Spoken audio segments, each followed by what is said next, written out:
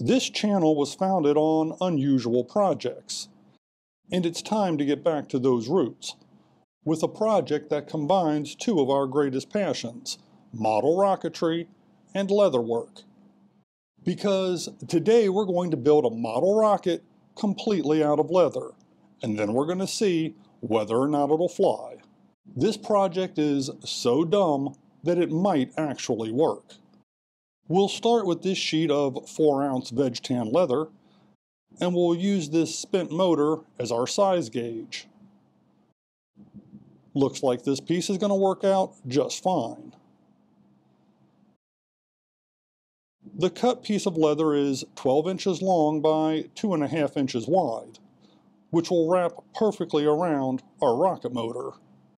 So we get started by running a line of stitches down each side of the leather. Then we measure where we want to put our motor block. We'll use a small piece of leather as a motor block and contact cement it into place, something like this. Now we're going to move on and design our fins. For this project, we're just going to make basic low-profile fins, and this is going to serve as our template. Because of the minimum size of this rocket, I'm only going to use three fins. And there's our stitch line set into place, so let's move on. We've marked two stitch lines for the fins equidistant apart, and then I'm going to use the main seam of the rocket as the location for the third fin. Time to contact cement that motor block into place.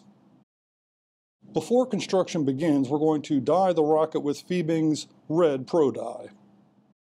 Here's all the parts so far, all dyed up with the edges finished and the inside of the rocket slicked with gum trag. We also slicked the rough side of each one of the fins and all the pieces have been treated with Resolene. This piece here is going to be sewn onto the side of the rocket and used as a launch lug.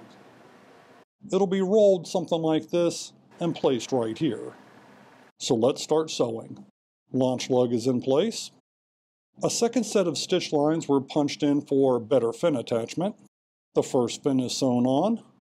Second fin is sewn on. Then the entire body of the rocket is sewn along its length with the third fin sewn into place at the same time. Now on to the nose cone. This is the basic pattern slash idea that I came up with. I cut it out and punch in the stitch lines.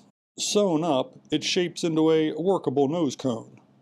Let's dye it up and attach it to the rocket. Here's what the finished nose cone looks like. I used a rolled up piece of leather at the nose cone base to attach it to the body of the rocket. There's weight epoxied into the nose cone for balance, and a standard Kevlar shock cord is going to be used. You can see right here that we have a passable center of gravity, but you've waited long enough it's time to see if this thing is actually going to fly. We're here at the launch field set for the first launch on a low power Estes A83 motor. This is just for a first test run. We're planned for a streamer recovery and we're going to fly in three, two, and one.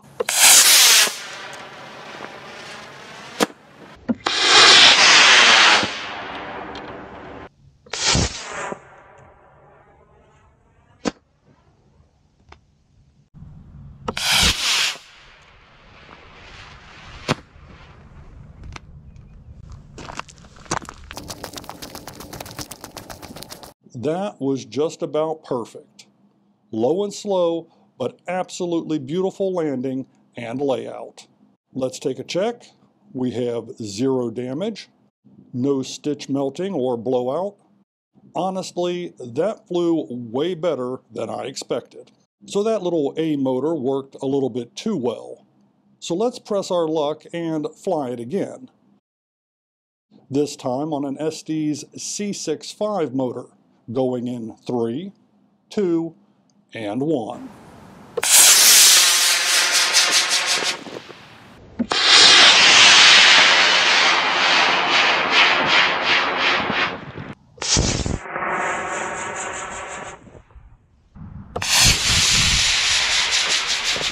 This launch here got a little wild, but it flew beautifully. quick edit because it landed near some cars, but that thing flew just as reliable as any kit model that I've ever done. Of course, the streamer didn't deploy that second time. I think I failed to roll it tight enough, and the inside of the rocket is really rough so it kind of grabs onto the fabric. There's not much room in there since this is a minimum diameter rocket. But here we go. No damage, great flight, and with all that, I'll call this oddball project a success. So, what do you think?